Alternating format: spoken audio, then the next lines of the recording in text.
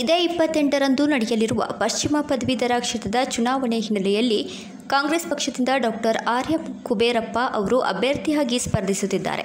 ಶಿಕ್ಷಕರ ಸಮಸ್ಯೆಗಳನ್ನು ಬಗೆಹರಿಸಲು ಯೋಗ್ಯ ಅಭ್ಯರ್ಥಿಯಾಗಿದ್ದಾರೆ ಎಂದು ಮಾಜಿ ಸಚಿವ ಎಚ್ ಕೆ ಪಾಟೀಲ್ ಹೇಳಿದರು. ನಗರದಲ್ಲಿಂದು ಸುದ್ದಿಗಾರರೊಂದಿಗೆ ಮಾತನಾಡಿದ ಅವರು, ಪಶ್ಚಿಮ ಪದವೀಧರ ಕ್ಷೇತ್ರದ ಅತ್ಯಂತ ಪ್ರಜ್ಞಾವಂತ ಕ್ಷೇತ್ರವಾಗಿದೆ.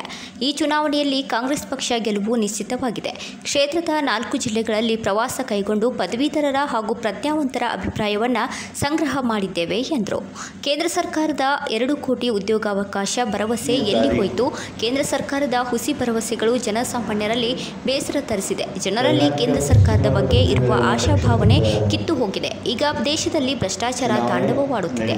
ಈ ಪರಿಸ್ಥಿತಿಯನ್ನು ನೋಡಿ ಕಾಂಗ್ರೆಸ್ ಪಕ್ಷದ ಬಗ್ಗೆ ಜನತೆಯಲ್ಲಿ ಒಲವು ಜಾಸ್ತಿಯಾಗುತ್ತಿದೆ ಎಂದರು. Big TV news Hubballi